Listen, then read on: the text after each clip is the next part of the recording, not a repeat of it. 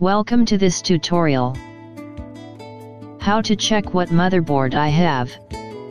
Sometimes you may struggle to find your motherboard specifications. In this video, we will learn how to check the installed motherboard specifications. Follow these steps.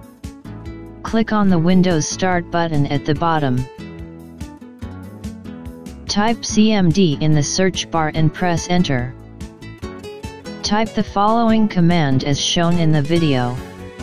wmic baseboard get product, manufacturer, version, serial number.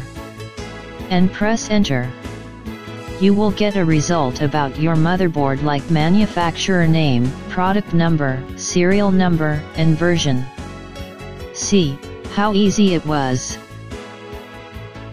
Thank you for watching this video. Subscribe to us.